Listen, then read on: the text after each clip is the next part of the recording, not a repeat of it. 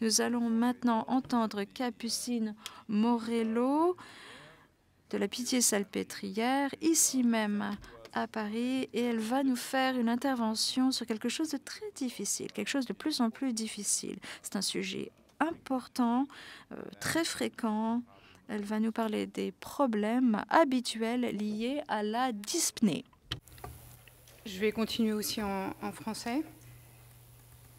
Je remercie euh, le comité scientifique de euh, m'avoir invité euh, pour vous parler de dyspnée, un symptôme extrêmement fréquent, d'autant plus que je ne suis pas oncologue mais pneumologue. Je suis désolée, personne n'est parfait. alors, par ailleurs, euh, je vous demande de m'excuser parce que les diapositives sont en français, on avait, euh, on s'était mal compris dans les échanges.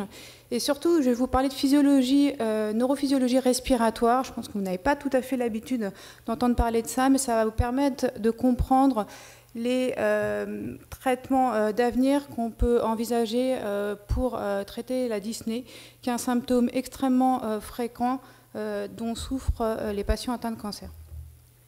Voici mes euh, liens d'intérêt en rapport avec euh, euh, cette thématique. Donc, je vais commencer par vous apporter une définition de la Disney. C'est une euh, expérience subjective d'inconfort respiratoire, fait de sensations qualitativement distinctes et d'intensité variable.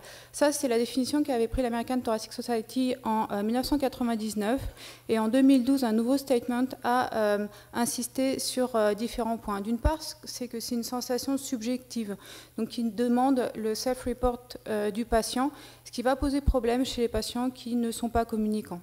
Par ailleurs, c'est on parle d'une dyspnée, en fait, il y a différents types de dyspnée avec différentes sensations respiratoires, telles que la soif d'air ou la sensation d'effort respiratoire excessif, qui sont sous-tendues par des mécanismes distincts. C'est une sensation qui est multidimensionnelle, exactement comme pour la douleur. C'est-à-dire que pour pouvoir parler de dyspnée, il faut qu'il y ait un affect négatif, une sensation d'inconfort respiratoire. Donc on a d'une part le percept, la sensation respiratoire, la composante sensorielle, et euh, cette composante affective qui va donner naissance à des réponses émotionnelles secondaires telles que l'anxiété, la dépression, la peur. Et l'intensité de ces deux composantes peut varier euh, distinctement. Enfin, donc, il y a une diffusivité euh, du symptôme avec un effet sur la qualité de vie des patients. On parle de dyspnée réfractaire lorsque la dyspnée persiste malgré le traitement de la pathologie sous-jacente avec une notion de chronicité, c'est-à-dire que c'est une dyspnée qui persiste plus de trois mois et qui survient au repos ou au moindre effort, à, euh, à distinguer de la dyspnée résiduelle qui est une dyspnée qui persiste malgré le traitement de la pathologie sous-jacente. Pourquoi les pneumologues et en fait tous les médecins s'y intéressent C'est parce que c'est un symptôme extrêmement fréquent. Lorsqu'on demande aux patients euh, admis aux urgences dans des hôpitaux euh, dits tertiaires s'ils souffrent de dyspnée, 50% d'entre eux rapportent une dyspnée. C'est également le cas chez les patients en réanimation qui sont intubés, euh, ventilés. Chez les patients ambulatoires tout venant, un quart des patients rapportent une dyspnée. C'est aussi fréquent et important que la douleur en fin de vie. Or, c'est beaucoup moins mesuré et beaucoup moins traité que la douleur. Et enfin, c'est un déterminant majeur de handicap, de morbidité et de mortalité. Dans la BPCO, par exemple, la dyspnée est l'un des meilleurs facteurs de, euh, de risque de mortalité. Qu'en est-il euh, dans le cancer? Lorsqu'on regarde euh, les patients en soins palliatifs, euh, la fréquence de la dyspnée, on voit que les, cancers prénimitifs qui sont le plus pourvoyeurs de dyspnée, c'est bien sûr le cancer bronchique, mais également les cancers de la tête et du cou, les cancers du sein et bien sûr la présence de métastases pulmonaires. Là, on voit le pourcentage des patients rapportant une dyspnée en fonction des primitifs.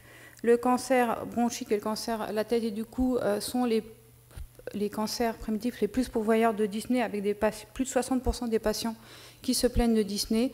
Les pathologies tumorales euh, cérébrales sont euh, les moins pourvoyeurs de dyspnée. Mais lorsqu'on regarde la dyspnée dans les quatre derniers jours précédant le décès, là on voit que quel que soit le primitif, la dyspnée est aussi fréquente. Dans le cancer bronchique, c'est un symptôme extrêmement fréquent et extrêmement invalidant. Lorsqu'on demande aux patients les symptômes qui les gênent le plus, vous voyez que après euh, la fatigue, la dyspnée vient euh, juste derrière avec plus de 40% des patients à différentes visites. Hein, ce sont des patients en ambulatoire qui ne sont absolument pas en soins palliatifs Ils se plaignent jusqu'à 40% de dyspnée modérée ou sévère.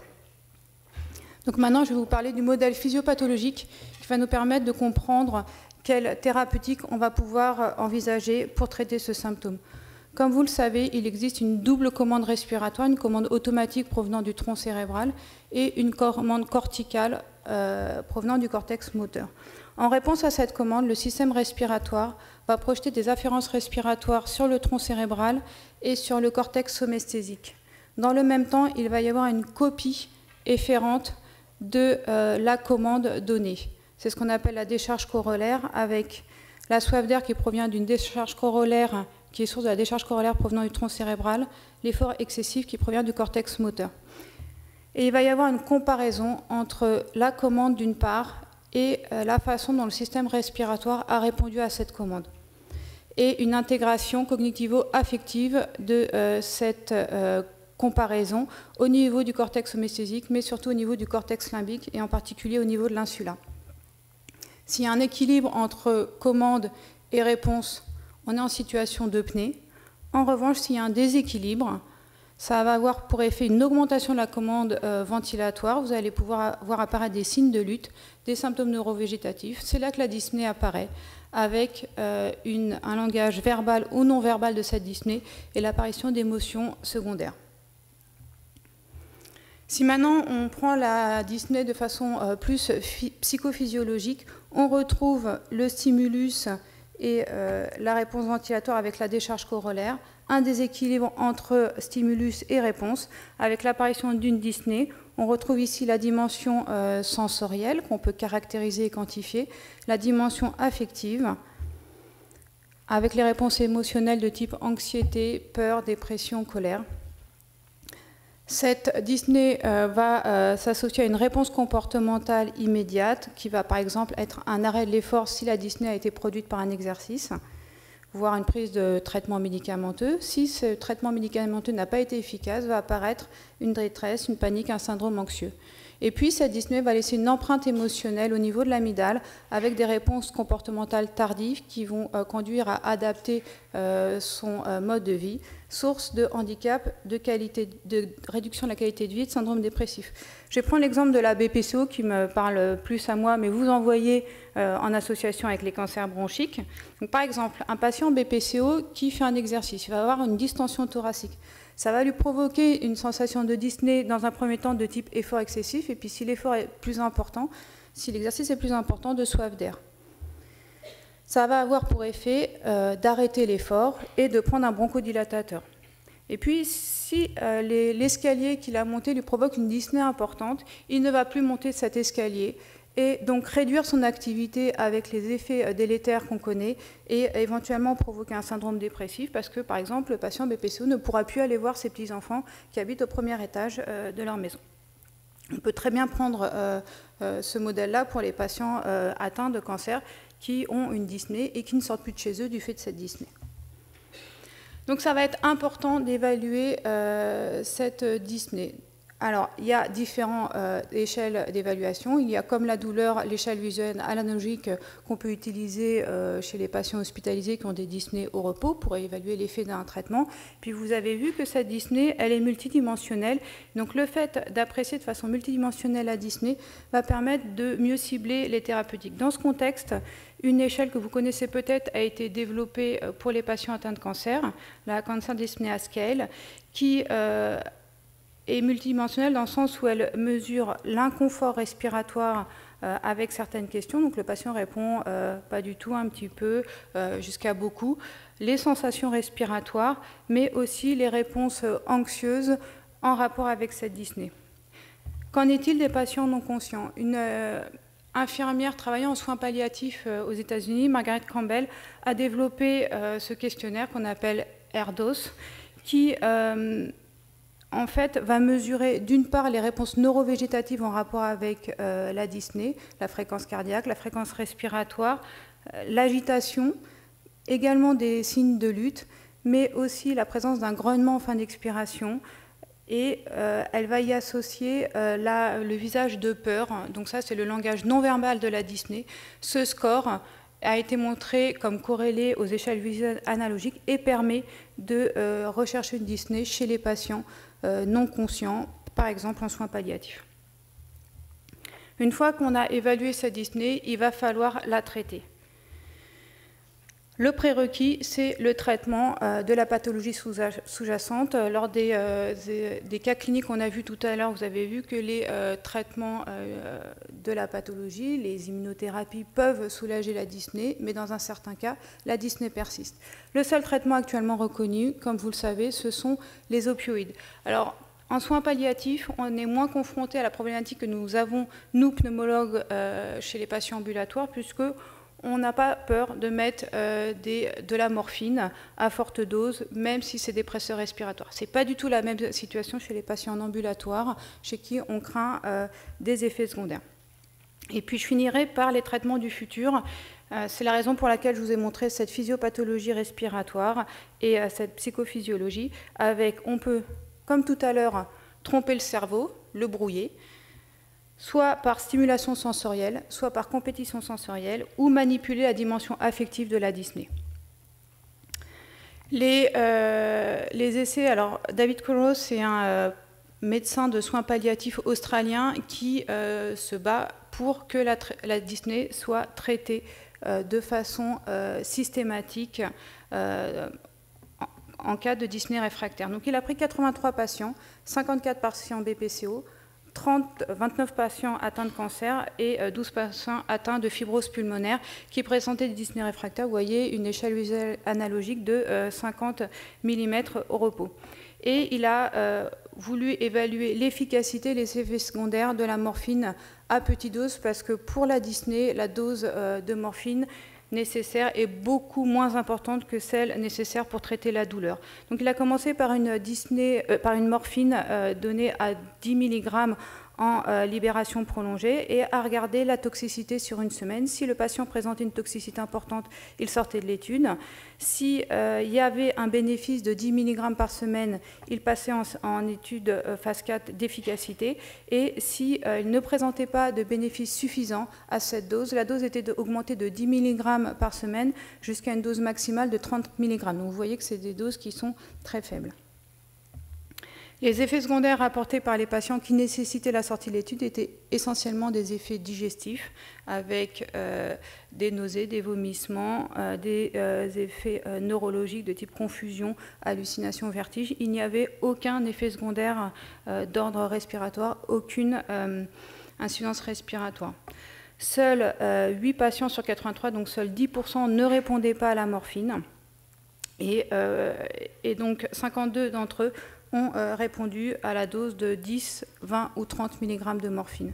Quand on regarde un petit peu plus en détail, on voit que la grande majorité des patients, 35 sur 52, ont répondu à 10 mg de morphine. Donc pour traiter la dyspnée, des petites doses, même 10 mg, sont suffisantes. C'était donc 10 mg le matin.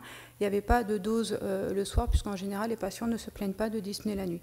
On voit qu'il y a une euh, diminution significative euh, de euh, la dyspnée sur l'échelle visuelle analogique, puisqu'elle est diminuée, elle passe de 50 à 30 mm, donc un effet significatif. Et lorsqu'il regarde les patients qui n'ont pas répondu à la morphine, ceci n'était pas lié à l'intensité de la dyspnée, c'est-à-dire que ce n'étaient pas les patients qui étaient le plus dyspnéiques qui ne répondaient pas. Ce n'était pas non plus lié à la pathologie. Et du coup, ils se sont posés la question d'une susceptibilité génétique. Ils ont regardé différents génotypes sur le récepteur, euh, sur le récepteur 5-HT3, la sérotonine. Ils ont vu que un génotype est associé à une moindre réponse à la morphine. Donc peut-être que ceux qui ne répondent pas sont ces patients-là qui ont une modification génotypique. Donc une fois que euh, les patients n'ont pas répondu ou pas suffisamment répondu à la morphine, quelles armes a-t-on? Tout ce que je vous montre maintenant, c'est euh, les euh, cibles d'avenir. Ce ne sont pas des traitements dont l'efficacité est prouvée. On peut d'abord modifier le stimulus en trompant le cerveau, comme tout à l'heure. Alors, le furosémide en nébulisation est un stimulant des récepteurs à l'étirement, c'est-à-dire qu'il mime une inflation pulmonaire. Ces récepteurs sont euh, activés quand on gonfle à fond euh, ses poumons. Et euh, il a été montré versus placebo que l'apnée était prolongée lorsque euh, on inhalait du furosémide à 40 mg avant de faire une apnée. De la même façon, la soif d'air, donc ce sont des dyspnées expérimentales chez des sujets sains ici, la soif d'air est induite par une inhalation des CO2 associée à une ventilation restreinte. Vous savez qu'on inhale du CO2, normalement on hyperventile, là on empêchait les, patients, les sujets d'hyperventiler, donc ça leur provoquait une soif d'air importante. Sous furosémide, la l'intensité de la soif d'air diminue de façon significative euh, à l'inverse du placebo. Il y a des cas cliniques euh, chez des patients atteints de cancer, pas d'études randomisées euh, actuellement dans le cancer, mais des signaux pour dire que le furosémide à 40 mg peut être à 80 mg plus efficace chez ces patients-là avec pas d'effet secondaire. Ça n'agit pas en tant que diurétique, hein, puisque c'est donné en nébulisation et ça reste principalement au niveau des voies aériennes distales. Et donc ça trompe le cerveau en le faisant croire que euh, le poumon euh, est plus gonflé. Vous avez tous mangé des chewing-gums euh, à l'eucalyptus et au menthol, ou mangé des bonbons, et vous avez la sensation que l'air est plus froid dans le nez et que tout s'est dégagé. Donc c'est une sensation, l'air n'est pas plus froid et le nez n'est pas plus dégagé, mais le menthol soulage donc des Disney euh, expérimental ici une charge résistive. Et ça explique pourquoi vous avez peut-être l'expérience de patients non hypoxémiques qui sont améliorés par euh, l'oxygène. Euh, en tout cas, nous, en pneumologie, on voit plein de patients qui arrivent sous oxygène alors qu'ils ne sont pas hypoxémiques, donc qui n'ont pas d'indication d'oxygène, et qui pourtant sont améliorés par cet oxygène. C'est dû à la stimulation de ces récepteurs-là qui sont sensibles au débit et au froid, et donc qui donnent l'impression au cerveau qu'on euh, respire euh, davantage. Et euh, ça a conduit Amy Abernethy aux États-Unis, un autre médecin de soins palliatifs, à tester chez des patients présentant des dyspnées réfractaires non hypoxémiques en double aveugle l'oxygène et l'air sec, enfin l'air comprimé, donné à même débit. Et on voit ici en vert l'oxygène, en bleu l'air, qu'il y a une amélioration de la dyspnée mais euh, dans, euh, la même, euh, dans, le, le, même effet, puisque c'est juste la stimulation de ces récepteurs qui permet de soulager la dyspnée. Enfin, on peut faire du gating, exactement comme pour le tense et la douleur, en mettant un ventilateur près du visage du patient. Le ventilateur va stimuler le nerf trijumeau et brouiller les informations, les afférences respiratoires dyspnéique qui remonte au cerveau et donc soulager euh, la dyspnée des patients euh, soumis à euh, des charges inspiratoires, des sujets sains soumis à des charges inspiratoires, mais également des patients présentant des dyspnées réfractaires en soins palliatifs. On voit qu'il y a une amélioration de la dyspnée lorsque on met le ventilateur sur le visage par rapport à lorsque l'on le met sur la cuisse. On peut euh, enfin manipuler euh, la dimension affective de la dyspnée, soit en faisant écouter de la musique euh, aux patients. Donc ça, c'est un traitement qui ne coûte pas cher et qui n'a aucun effet secondaire. Ici, on a des patients BPCO qui font un test de marche de 6 minutes avec la composante affective de la dyspnée et la composante sensorielle. Vous voyez que par rapport à des bruits blancs, la euh, musique hein, soulage la Disney et permet aux patients euh, de euh, faire un test de marche de 6 minutes plus prolongé. Et enfin, s'il y a des patients, parmi d'entre vous, des gens qui sont dyspniques, vous pouvez regarder cette image, l'hypnose en euh, agissant sur les aires cérébrales impliquées dans euh, l'intégration euh, affectivo-cognitive de la Disney et en particulier dans son composante affective, soulage la Disney. Il a été montré que ça soulageait des patients pédiatriques qui sont dyspnéiques. Il, y il va y avoir des essais là dans la Disney dans un premier temps expérimental pour pouvoir prouver euh, le bénéfice de la Disney, euh, de l'hypnose sur la Disney, puis après chez des patients. Pour conclure, euh, je dirais que la Disney réfractaire, c'est une souffrance ubiquitaire en médecine qui nous concerne tous. Il y a, du fait de la physiopathologie, de multiples voies thérapeutiques périphériques, mais aussi centrales avec manipulation affectivo-cognitive sous la forme pharmacologique, physiologique ou neurophysiologique avec une approche euh, multidisciplinaire. Les Anglais ont développé des réseaux euh, composés de médecins ergothérapeutes et kinésithérapeutes euh, qui font de l'éducation aux patients en leur expliquant d'où vient leur Disney, il leur donne, tout comme pour la euh, douleur, un plan thérapeutique en fonction de l'intensité de la dyspnée. Il leur donne un ventilateur portable qui leur permet de faire du gating et de soulager leur dyspnée à domicile sans aucun effet secondaire, des poèmes et des DVD, euh, qui leur permettent de faire de la relaxation. Pour finir, euh, je vous montrerai cette éditoriale de David Corot qui dit que identifier et traiter euh, la dyspnée réfractaire, c'est un droit humain et qu'aujourd'hui, euh, la morphine à faible dose est le traitement. Je vous remercie de votre attention.